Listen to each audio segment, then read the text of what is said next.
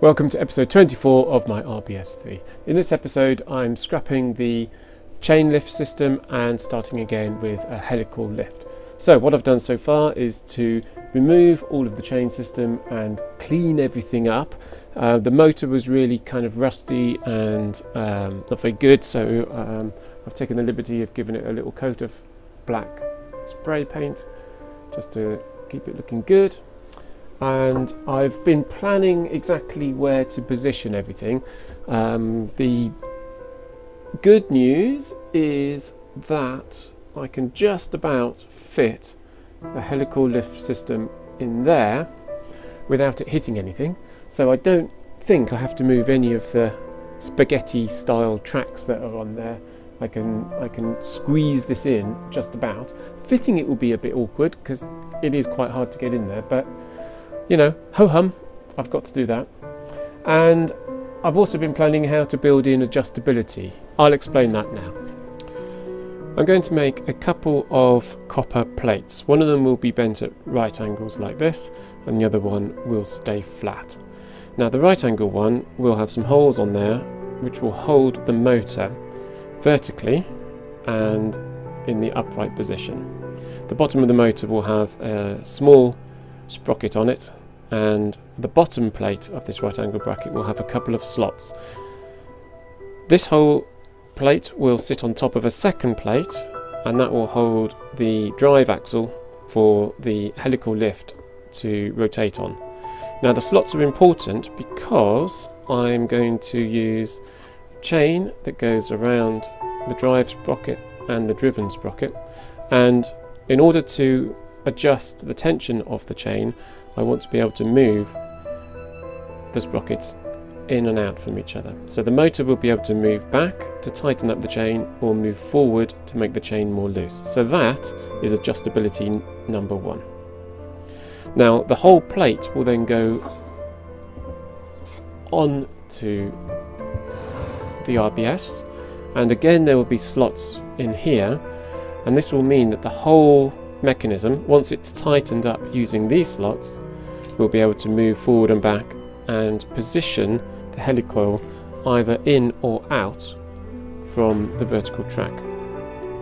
So if you imagine the vertical track kind of attached to this vertical post here, the vertical track will be solid and fixed and then the whole mechanism can slide in and out of that vertical track and that will give me the ability to put to have the balls resting at exactly the right spot because if the gap is too big then the balls fall down and if the gap is too small then the balls can fall into the helicoil and, and come out. So I'm building in two pieces of adjustability. One for the chain tightening and the other one for the ball positioning on the vertical track. And this is really good. This is a learning curve that I've made having done this kind of project work for about five years now I realised that to build in a bit of adjustability to the really key features like the ball lifts are um, really important. I've got the copper plate, I've got the copper wire, I've got the motor, the sprockets, the cardboard templates even. It's time to put on a little bit of time-lapse music and let's get soldering.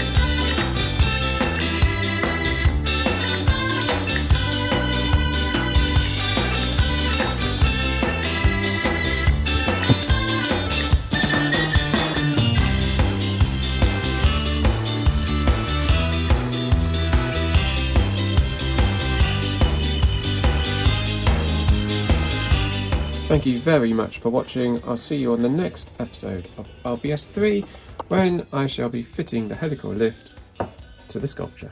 Bye!